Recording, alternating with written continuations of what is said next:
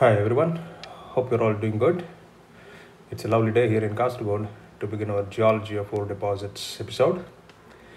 The overall content of the Geology of Ore Deposits subunit of Unit 1 of the Economic Geology course consists of learning some fundamental definitions, understanding the idea behind various classification schemes, learning about textures, paragenesis, and zoning, and finally understanding the genesis of various ore deposits such as magmatic, hydrothermal related to magmatism and orogeny, hydrothermal related to sedimentary environment, sedimentary and supergene deposits. We'll begin with few fundamental definitions that are uh, essential in learning the geology of ore deposits.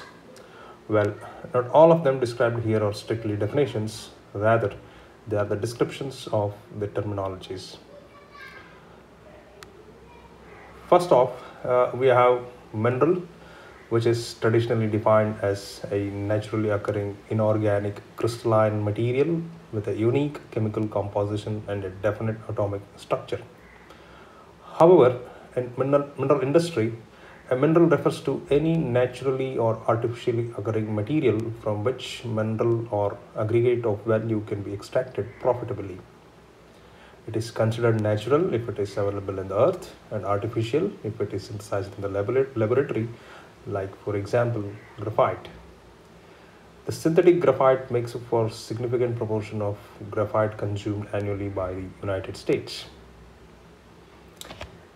Next, we have uh, mineral occurrence, which means any locality where a useful mineral or material is found. Whereas mineral prospect means any occurrence that has been developed by underground or subsurface drilling to determine the extent of mineralization. It must be noted that the terms mineral occurrences or mineral prospect does not have any resource or economic implications. We then have uh, mineralization defined as a geological event when one or more economic minerals are formed in a little unit. For instance, occurrence of galena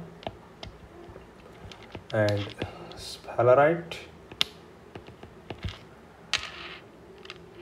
in carbonate which accounts for lead and zinc mineralization Similarly, occurrence of bastnäsite in carbonatite accounts for rare earth element mineralization.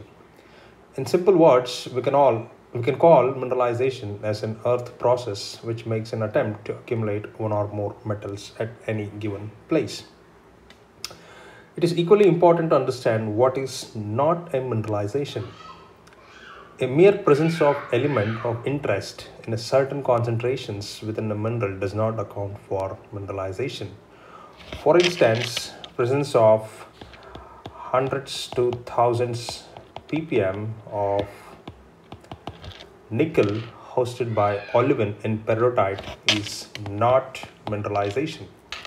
Similarly, rare earth elements present in zircon or sphene is not RE mineralization or rare earth element mineralization.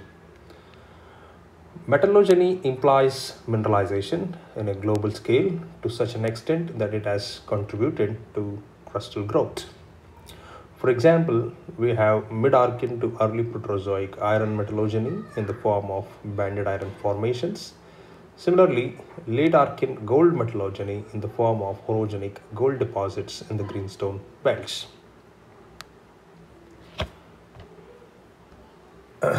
now, when does a mineralization qualify as mineral deposit?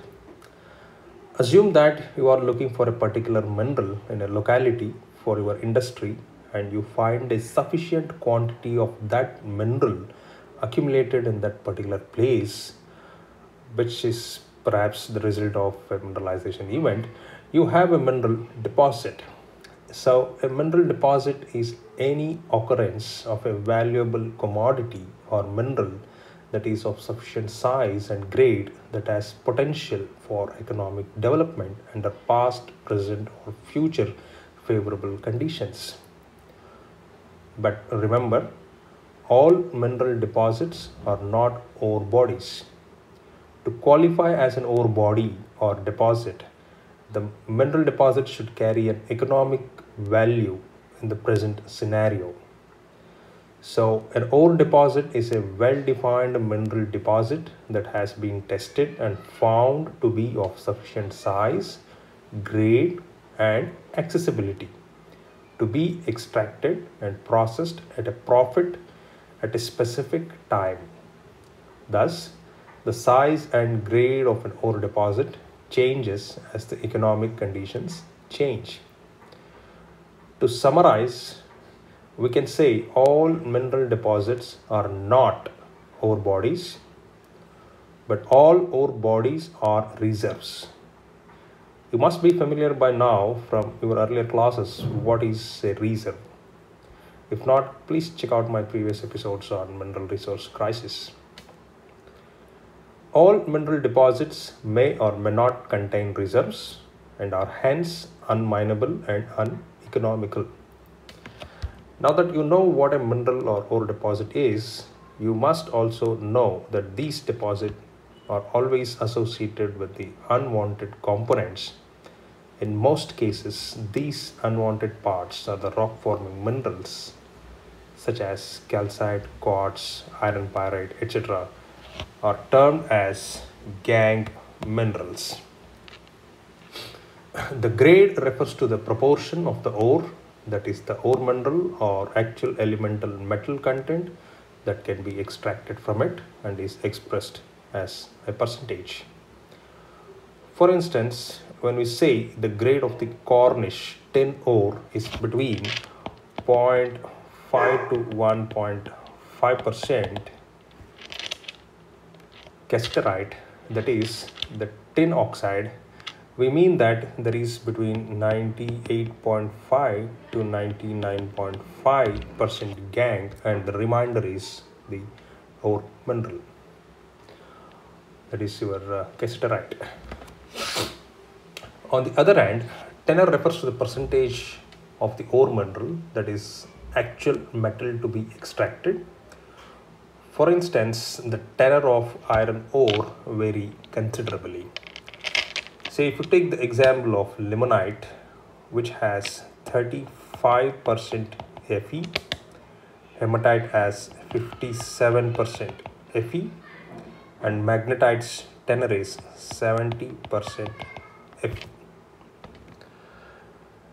Now, we have a wee bit of simple mathematical exercise in order to calculate the ore grade. Let's calculate ore grade of copper in chalcopyrite. The chemical formula of chalcopyrite is CuFeS2. The relative atomic masses are copper is 63.5, iron 56 and sulfur 32.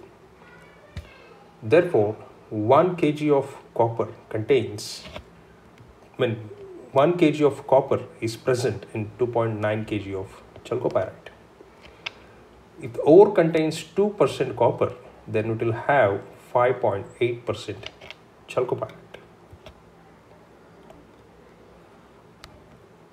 And lastly, we have tonnage, which refers to the total amount of metal that can be extracted from any particular ore deposit. It involves a simple calculation that considers the volume of the ore deposit, the grade of the ore, and the tenor of the ore mineral. Now we shall move on to the characteristics of the ore deposits. Every ore deposit in the world is unique in its own way. They have a characteristic form. For example, it can be bedded deposits, vein type deposits, etc.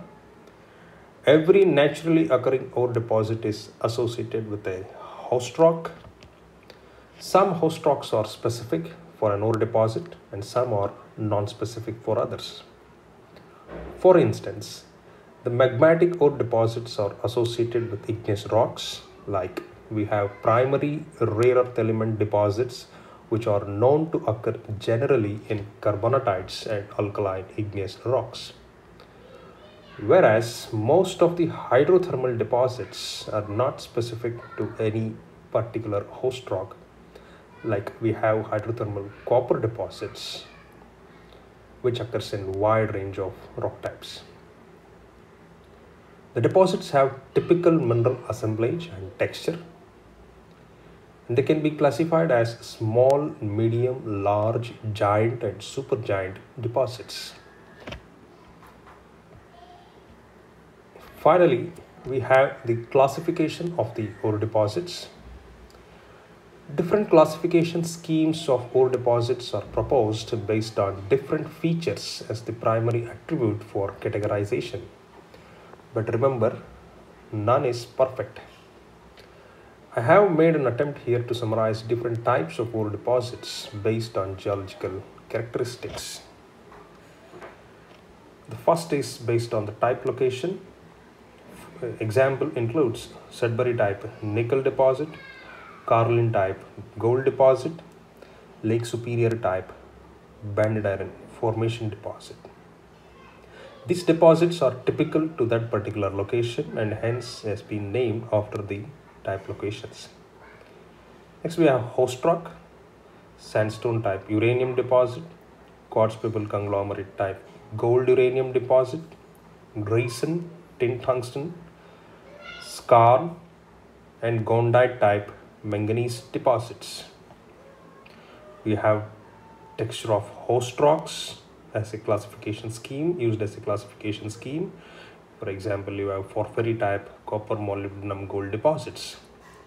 And next you have structure of host rock or ore body, constituent or rock of a sedimentary sequence in which ore body occurs. Tectonic setting is also used as a scheme for classification of ore deposits. Element association in ore deposit. And lastly, we have the process of ore formation. That's it for this class guys. I'll catch up with you in the next episode on the textures of ore minerals. Have a nice day.